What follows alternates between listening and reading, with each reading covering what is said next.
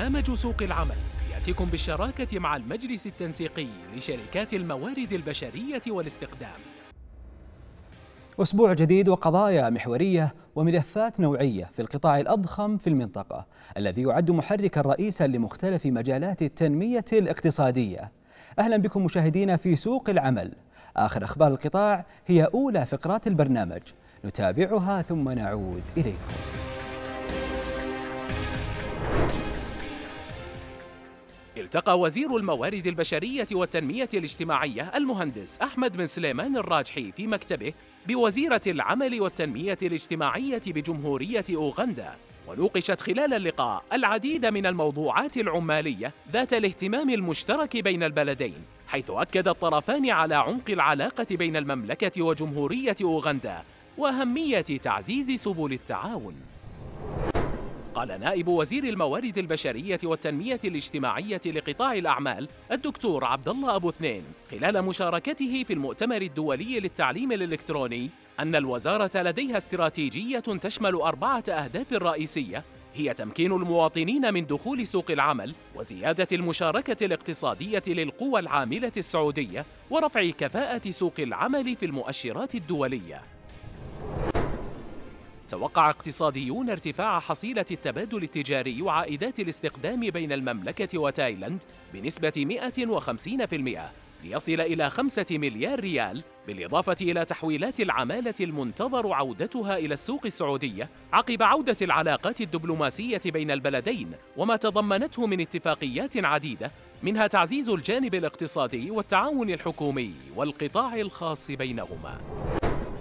تستعرض منصة قوى الرقمية التابعة لوزارة الموارد البشرية والتنمية الاجتماعية رحلة التحول الرقمي في مؤتمر ليب الذي يعد الحدث التقني الأضخم عالمياً.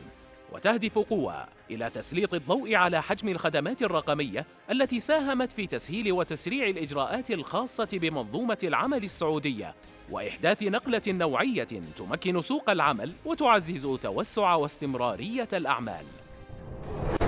قال رئيس مجلس إدارة شركة أرامكو السعودية ياسر الرميان أن برنامج اكتفاء يهدف إلى توطين 70% من إجمالي الإنفاق في قطاع التوريد وسلاسل الإمداد وخلق بيئة أعمال توفر آلاف الوظائف وتمكن الصادرات من منتجات قطاع الطاقة السعودي. ونوه إلى أن إنشاء مراكز التدريب الوطنية أدى إلى تخريج حوالي 33 ألف سعودي بمهارات جديدة. جاء ذلك خلال كلمته في منتدى اكتفاء 2022 الذي تنظمه أرامكو. مشاهدينا كان هذا الموجز. فاصل قصير ونعود إليكم.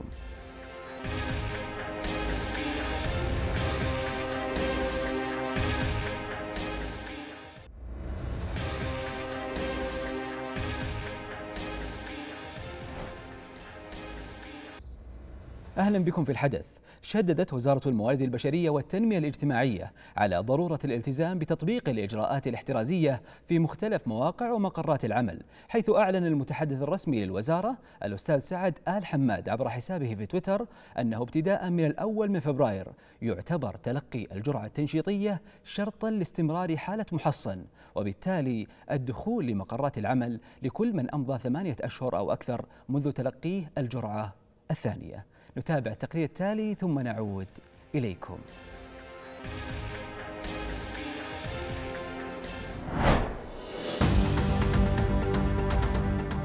أعلن المتحدث الرسمي لوزارة الموارد البشرية والتنمية الاجتماعية الأستاذ سعد آل حماد عبر حسابه الرسمي في تويتر. إنه بدءا من مطلع فبراير يعتبر تلقي الجرعة التنشيطية شرطا لاستمرار ظهور حالة محصن في تطبيق توكلنا. لكل من أمضى ثمانية أشهر أو أكثر على تلقيهم الجرعة الثانية. كما أكد آل حماد أن ذلك يأتي ضمن الإجراءات الاحترازية التي سيتم تطبيقها في أماكن العمل وذلك في إطار ضمان بيئة عمل آمنة صحياً والحفاظ على سلامة العاملين والمراجعين. وشدد آل حماد على ضرورة اكتفاء منشآت القطاعين العام والخاص بالتحقق من حالة التحصين والحالة الصحية خلال تطبيق توكلنا دون الحاجة لطلب أي فحوصات خارج البروتوكولات المعتمدة أو فرض إجراءات إضافية.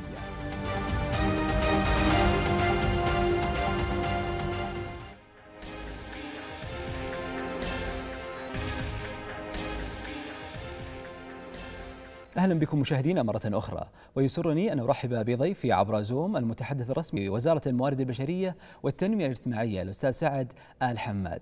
أهلا بك في برنامج سوق العمل. حياك الله. انس واهلا بك واهلا بالسيدات والسادة المشاهدين. بداية أستاذ سعد كيف تتم متابعة الالتزام بتطبيق الإجراءات الواردة في القرار؟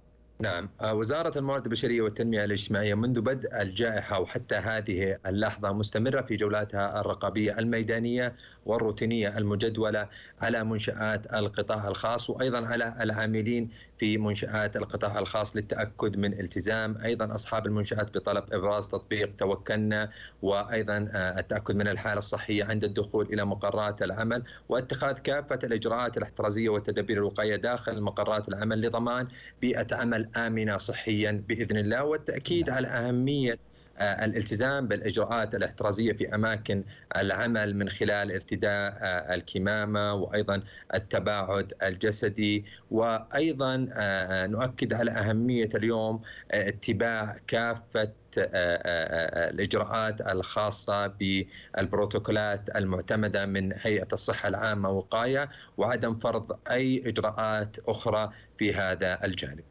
جيد ماذا عن عقوبات المخالفين للإجراءات الاحترازية؟ آه، طبعا يتم تطبيق كافة العقوبات الصادرة من الجهات المعنية سواء على آه، آه، المنشآت أو الأفراد المخالفين للإجراءات الاحترازية والتدابير الوقائية.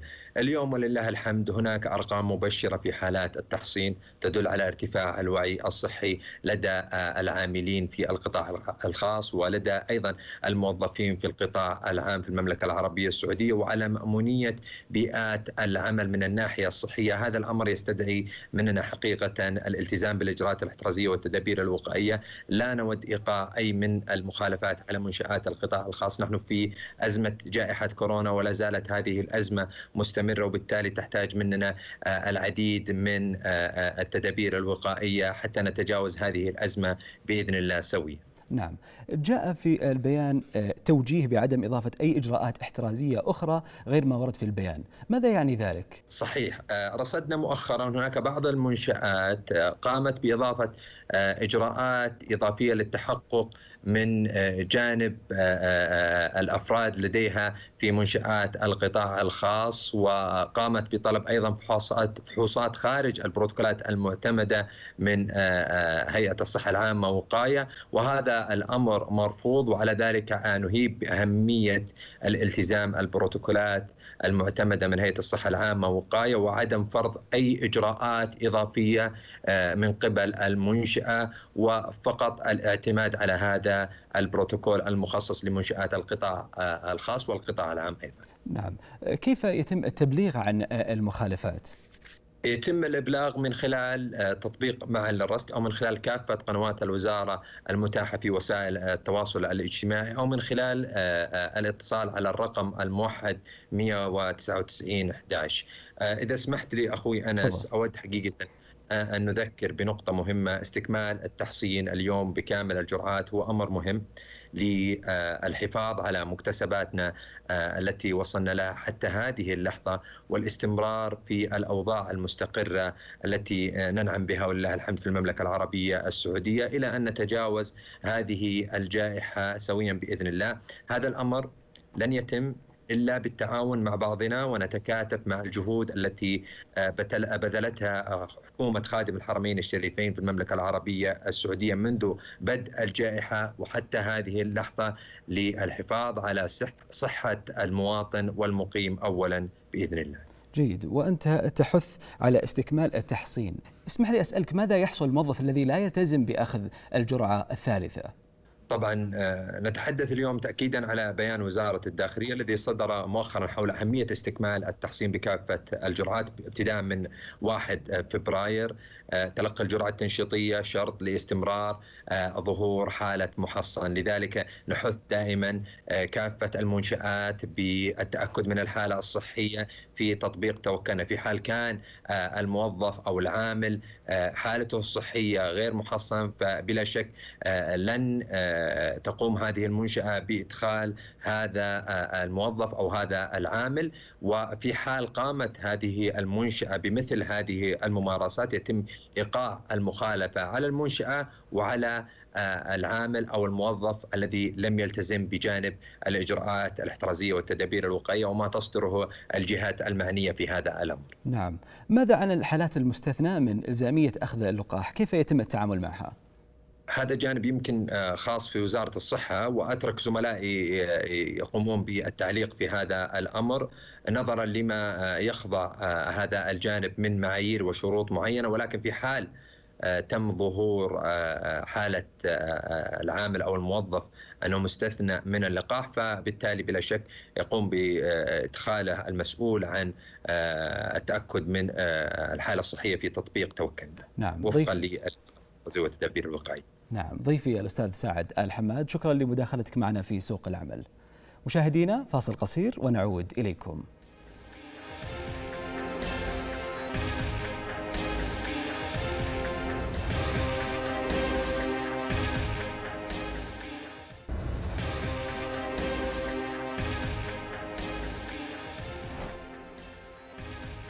أهلا بكم في الملف يستقبل سوق العمل السعودي في كل عام. آلاف الخريجين الباحثين عن فرص وظيفية والذين يلتحقون به سنويا في مختلف التخصصات. وتختلف الفرص التي يحصل عليها أولئك الخريجين في سوق العمل بحسب المهارات والقدرات التي يعملون على اكتسابها وتطويرها خلال دراستهم الجامعية وبعد انطلاق رحلتهم الوظيفية في سنواتها الأولى. نتابع التقرير التالي ثم نعود إليكم.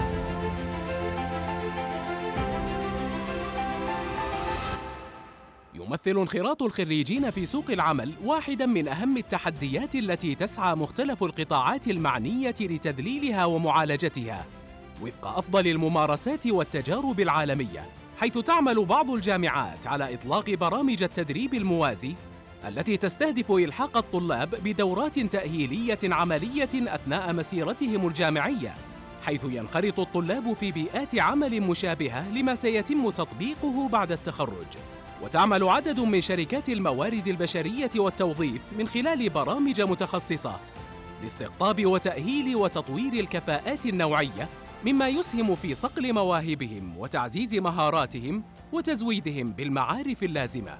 وقد أصبح سوق العمل السعودي خلال السنوات الأخيرة وجهة جاذبة لآلاف الخريجين وذلك بعد إطلاق العديد من البرامج والمبادرات الهادفة إلى توطين مختلف القطاعات التي رفعت نسبة انضمام الخريجين إلى سوق العمل منذ وقت مبكر. وهذا ما يسهم في اكتساب العديد من الخبرات والمهارات الأساسية التي تنعكس على جودة المخرجات. كما ساهم تغيير مفهوم ثقافة العمل لدى بعض الخريجين في تعزيز اقتناص الفرص بعيداً عن نوع الوظيفة والمقابل المالي.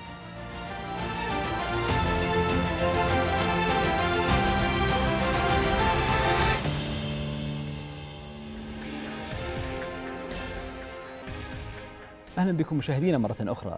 يسرني أن أرحب بضيفي في الاستوديو الأستاذ علي الحربي الرئيس التنفيذي للدولية للموارد البشرية والتوظيف وكذلك بضيفي الأستاذ بندر موسى نائب الرئيس التنفيذي لشارك لأعمال التقنية والاتصال. أهلا بكم في سوق العمل. الله أهلا وسهلا. يا هلا وسهلا.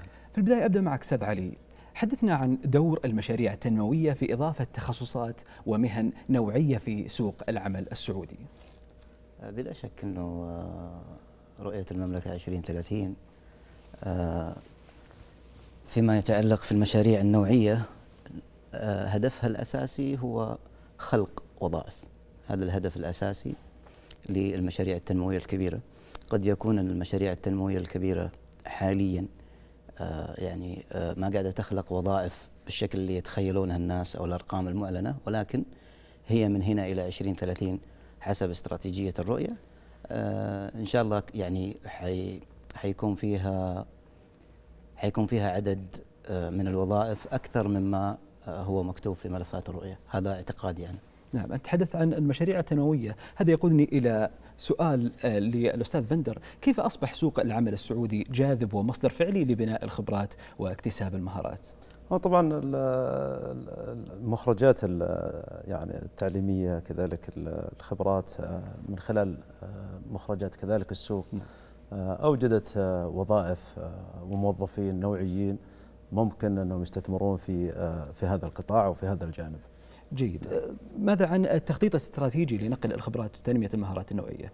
بلا شك أنه يعتمد هذا على آه، دور الممارسة الحقيقية في بيئة العمل آه، تطوير المهارات آه، كذلك اللي هي الممارسة من خلال شركات أجنبية على سبيل المثال من خلال دور الخبرات وبيوت الخبرة في تخريج أو في انخراط الباحثين عن العمل أو الممارسين لهذه الأعمال حتى يخرجوا من هذه فتنتقل الخبرة من آه، من منصة عمل إلى منصة عمل أخرى. وأنت تتحدث عن الباحثين عن العمل.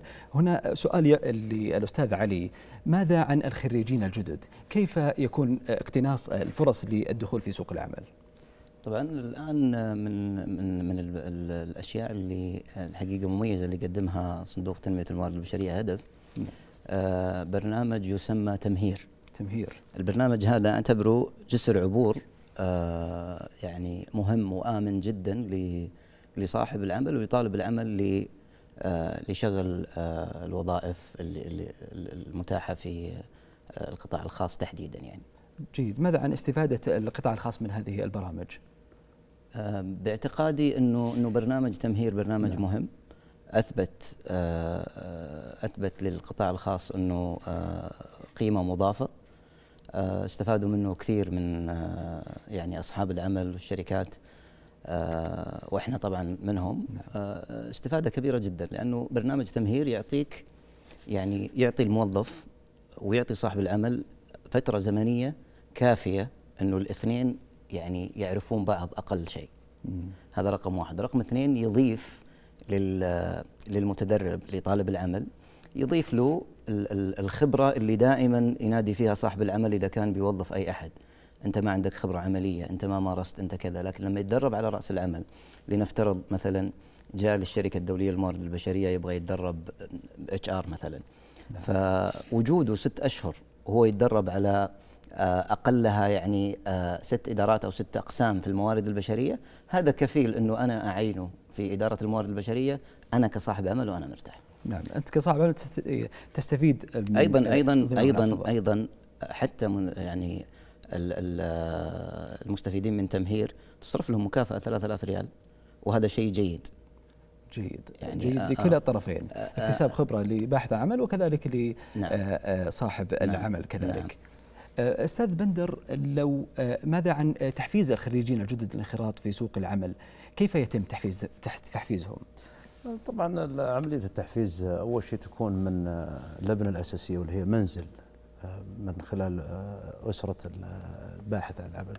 بما أنه حديث تخرج سواء كان من الصفوف اللي هي الثانوية أو تخرج من الدبلوم أو تخرج كذلك من الجامعة البيئة الأكاديمية تختلف تماما عن البيئة المهنية. فبيكون حقيقة أعتبره دور أسري داخل الأسرة لعملية فهم طريقة الدخول آه، إلى الوظيفة.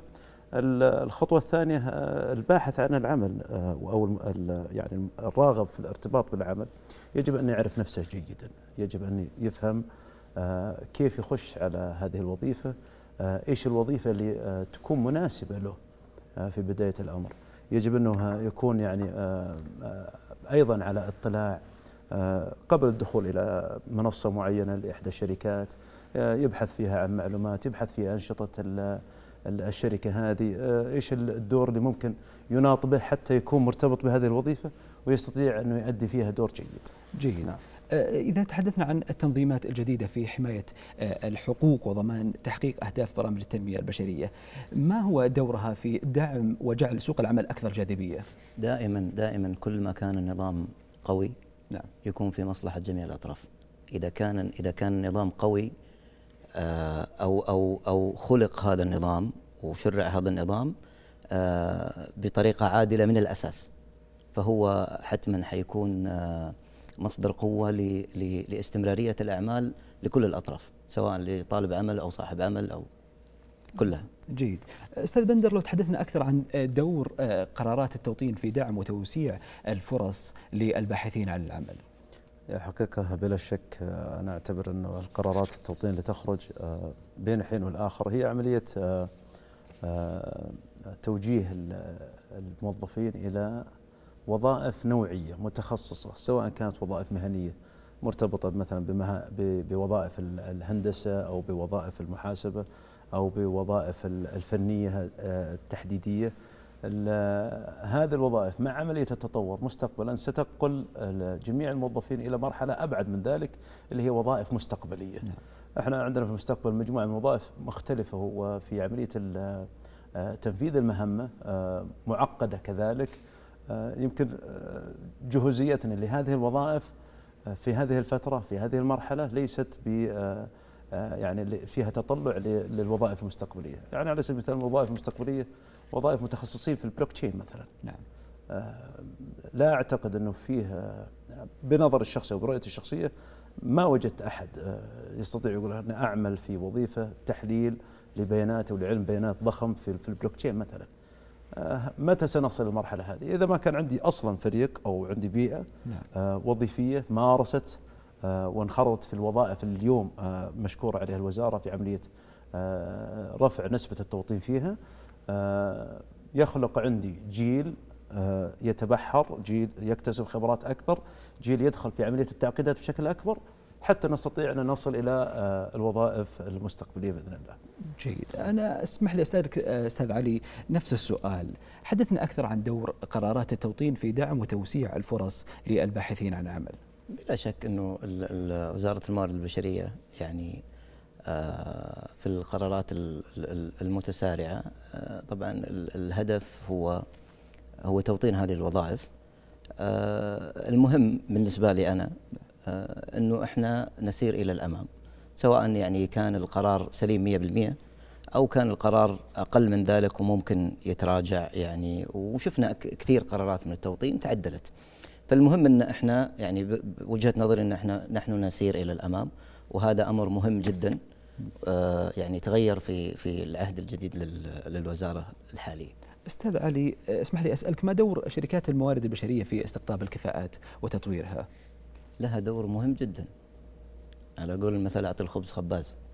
لها دور مهم جدا ويمكن الاستاذ الكريم يعني أيضا من الشركات المنافسة. صحيح ما في شك. اليوم آه لما تجي للأسواق العالمية في من من أمريكا إلى أوروبا إلى غيره نعم.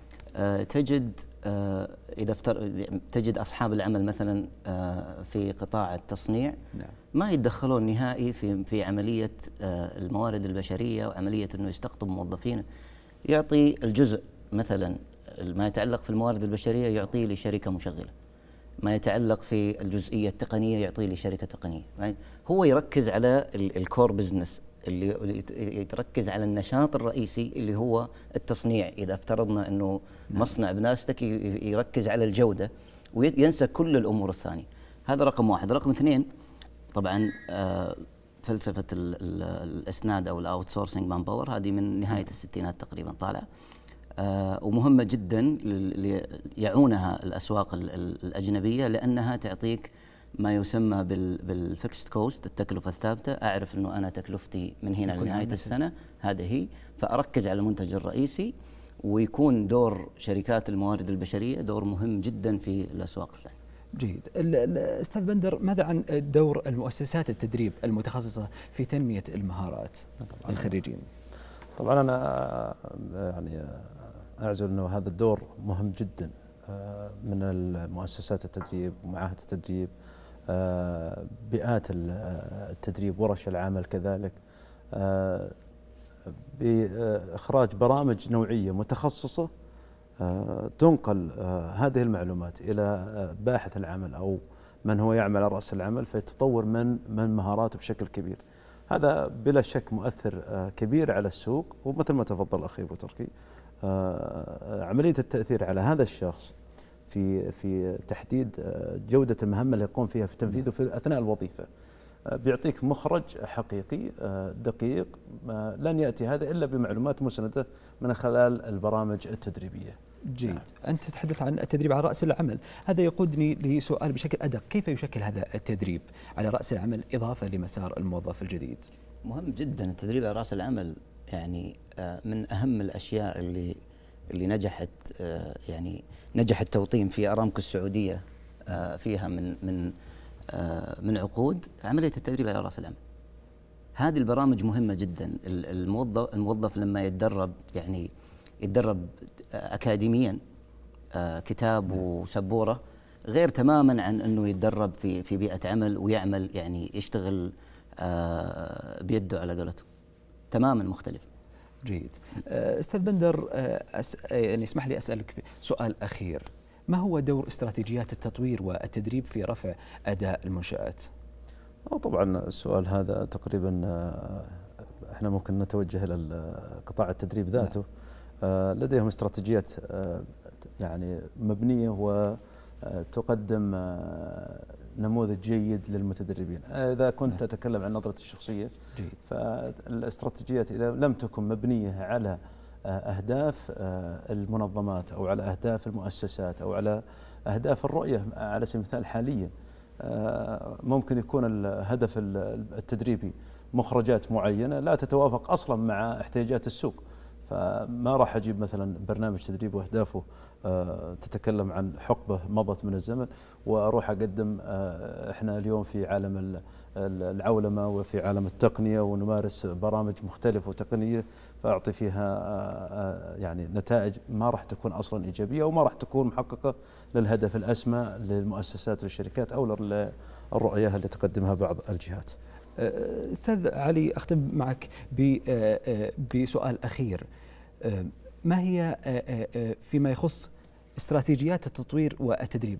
ما دورها في رفع أداء المنشآت؟ دور مهم جدا جدا جدا في في المنشآت. وقبل أجاوبك على نعم. سؤالك عندنا تجربة أستاذ الكريم في اتحاد الأمن السيبراني. نعم. أتمنى يعني اتمنى ما هي التجربة؟ تجربة تجربة نعم. المعسكرات. آه. معسكر طويقل.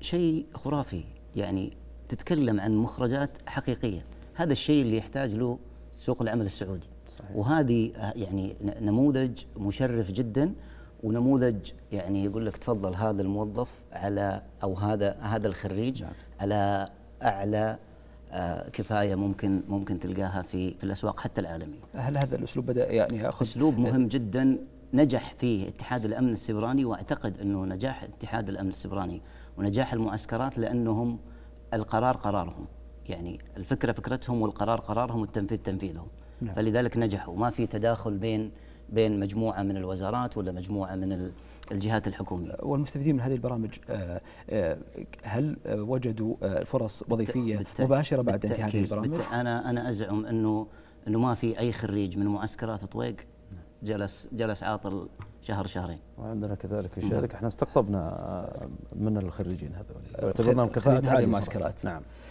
جيد. الأستاذ علي الحربي الرئيس التنفيذي للدولية للموارد البشرية والتوظيف وكذلك أستاذ بندر موسى نائب الرئيس التنفيذي لشارك لأعمال التقنية والاتصال شكرا لكم أن كنتم معنا في سوق العمل. الله يحييك.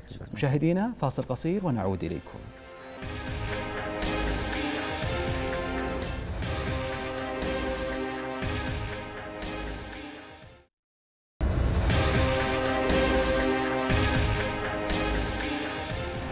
بكم مجددا مشاهدينا إلى أبرز أرقام وإحصائيات سوق العمل لهذا الأسبوع والتي نستعرض فيها عدد المشتغلين الخاضعين لأنظمة ولوائح الخدمة المدنية ولوائح التأمينات الاجتماعية والذي انخفض في الربع الثالث من العام الماضي بحوالي أربعين ألف حيث بلغ أكثر من تسعة ملايين وأربعمائة ألف مقارنة بالربع الثاني. يشكل السعوديين منهم قرابة الثلث متجاوزين الثلاثة ملايين وثلاثمائة واثنين وأربعين. وبلغت نسبة الذكور منهم 63.6% فيما يشكل الإناث 36.4% أما إجمالي عدد غير السعوديين فبلغ أكثر من 6 ملايين. يشكل الذكور منهم 95.3% فيما بلغت نسبة الإناث 4.7% وإلى سؤال الشارع لهذا الأسبوع. يعبر بعض الناس أحيانا عن أمنياتهم بالعمل في مهن غير التي يعملون بها إلا أن الحظ لم يحالفهم لأسباب مختلفة. سألنا الناس عن رغباتهم المهنية التي يتمنى لو كان بها. نتابع.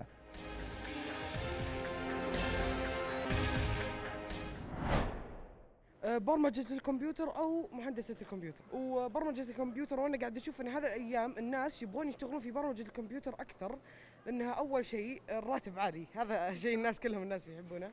وش اسمه؟ ويمديك تغيرين العالم فيه. تسوين تسوين تطبيقات تخدم البلد. والله أتمنى أشتغل في العلاقات العامة. طبعا فرص التدريب حاليا شبه منعدمة. فأتمنى في فرص تدريبية لنا كحديثين تخرج عشان نكون جاهزين لسوق العمل فواحدة من الأشياء اللي أنا أطمح لها كشخصية يمكن ما تكون يعني غريبة على أحد لكن أنا أتمنى أني أكون يعني سياحي موجه سياحي للأجانب يجون عندنا في السعودية لأنه عندنا إحنا تضاريس جميلة ممتازة جدا خصوصا في مرحلة منطقة نيوم. المناطق هذه كلها زرتها بيسمونها منطقة virgin land واللي هي أرض خصبة يعني ما قد صارت. وأعتقد أنه هذه من الأشياء اللي أنا أطمح لها لكن ما أشتغلها. بإذن الله أنا الحين في الثانوي بتخرج حابة أدخل تخصص المحاماة عشان أدافع عن حقوق الناس. مهندسة معمارية لأني وأنا صغيرة كنت أحب كذا يعني حتى لما أدخل فيلل أو نزور ناس من أقاربنا أرجع البيت أرسم المخطط حق البيت. لأني أحب هذا الشيء بس بوقتي ما كان في شيء زي كذا. تخصصت رياضيات أقرب شيء للهندسة أنا حاليا معلمة وجدا مستمتعة صراحة بوظيفتي مستمتعة بمهنتي مستمتعة بالأولاد. ممكن لأن يمكن بحكم أني أم أولاد وصار الآن دمج وأقدر أدرس أولاد فمستمتعة أكثر. مشاهدينا اللقاء يتجدد بكم الأسبوع القادم في قضايا وملفات جديدة من سوق العمل. انتهت حلقتنا لهذا الأسبوع. شكرا على كرم المتابعة. إلى اللقاء.